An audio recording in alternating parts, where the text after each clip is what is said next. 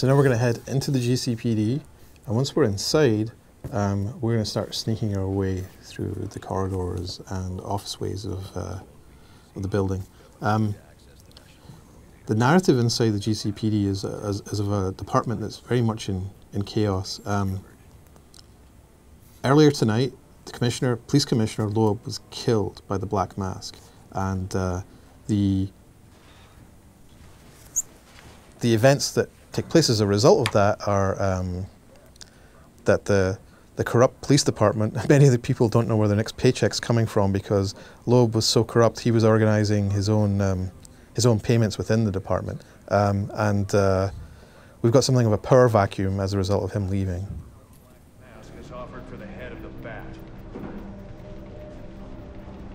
Where do I sign up? I thought he was a ghost. All right, cut the chatter, people. Our goal is to ensure order in this city. So our number one priority becomes bringing in the bat before these assassins. Yeah, well, they... Must you be so brutal, sir? These are city employees. They're as corrupt as they come, and they're in my way. I wish you'd think twice about that approach, sir. You never know when you might need their help. At any rate, your objective is the GCPD server room. I've marked it on your map. Man, I hate the homeless. Oh, yeah! Right in the jaw! Dispatch! 27, engaging!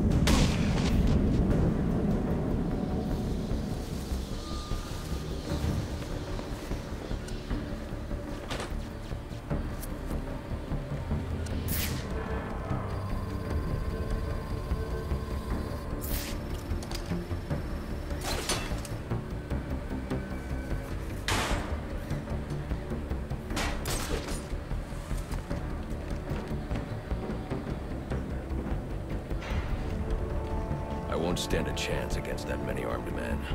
I can use Deathstroke's remote claw to pass above their heads undetected. Alright, listen up.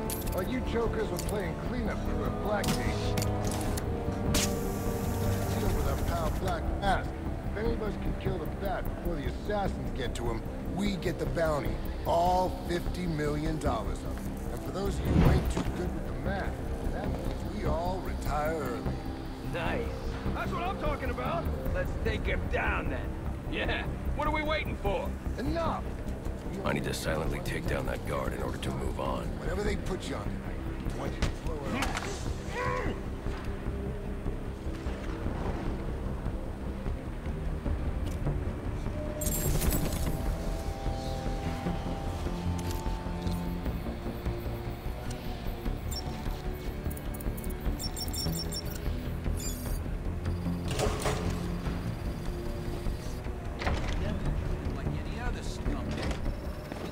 Find dirt. We make our own. What if Captain Gordon allowed all the perps in the holding cells to go free? Just in from Central. They're offering a I got no visual!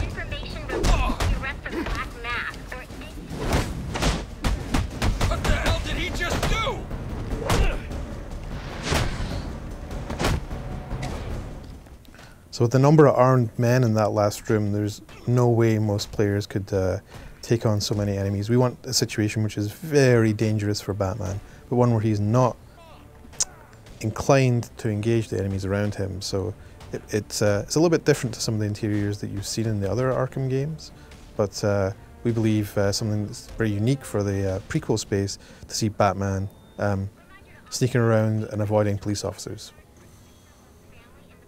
this point in his career, he's not really understood. He's he's kind of a combination between an urban myth and uh, some sort of um, misunderstood outlaw. So um, uh, I think it's kind of different. It's kind of unusual uh, and also very appropriate for the early career Batman.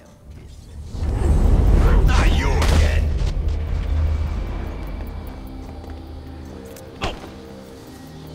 Talk, or you won't be walking anywhere, ever. No way! You gotta answer for dropping me off that rooftop, buddy! No, you have to answer to me. How does this disruptor work? Ask one of the pigs. They got it in evidence lockup. How about we take a little walk up to the roof? Okay, okay, you win. It it jams weapons, overrides electronic locks. All right. Now you gotta let me go. How'd that work out for you last time? Oh.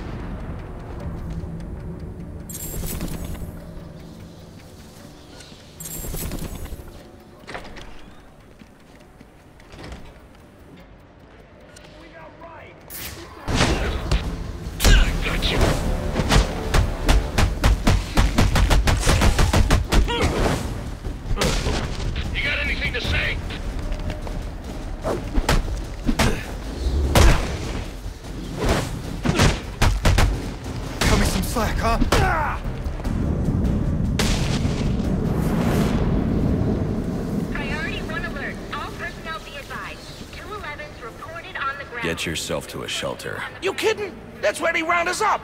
Alert. You don't get So Anarchy's a character that's well intentioned in our game, and uh, he has a connection with the homeless community inside uh, inside Gotham.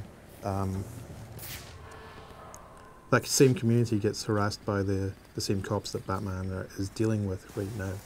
So uh, we want to create a little bit of granularity, a little bit of uh, a little bit of grit in the I guess the relationships there between the characters and show that um, whilst Anarchy is misguided by Batman's um, terms, that's how he sees him. Um, he's also a character with some depth. Now, another character we're going to see here is Barbara Gordon, someone who's been, uh, who players of the other Arkham games would be very familiar with as Oracle. Uh, as she, she grows older, um, people who are fans of the lore know she becomes Batgirl, and then eventually, after she get, becomes injured, she becomes uh, Oracle. Um, uh, we haven't actually seen her in the other games, but we've heard her voice a lot. Priority 1 alert. Intruder in the building. Um, her relationship with her with her father is, is kind of complex. At this point, she's in her teens, and um, she's developing her own ideas about the world, her own ideas about values. Um, it's kind of interesting her relationship between Batman and her father. Um, her father, James Gordon, he represents law, but Batman represents justice, and those things are very similar, but they're not exactly the same. And like uh, a lot of teenagers do, she's starting to rebel against her parents and, and really figure out uh, where she stands on things. So uh, that's the end of our demo here in uh, in the GCPD. I hope you've enjoyed seeing it. Um, Batman Arkham Origins is out on October 25th on PS3, Xbox 360, Wii U, and PC. Um, there's also Batman Arkham Origins uh, Blackgate, which uh, is out on the same day on PlayStation Vita and 3DS. Uh, check them both out.